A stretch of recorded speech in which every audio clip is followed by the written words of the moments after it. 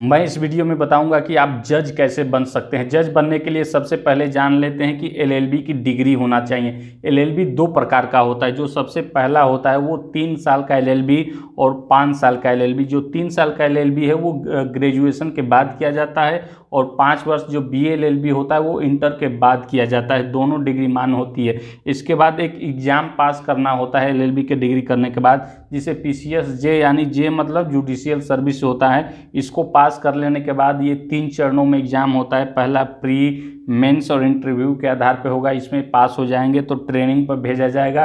Training complete करने के बाद आपको कोर्ट में ज्वाइनिंग दे दी जाती है, जो सबसे छोटा पद होता है, वहाँ पर आपकी ज्वाइनिंग कर दी जाती है।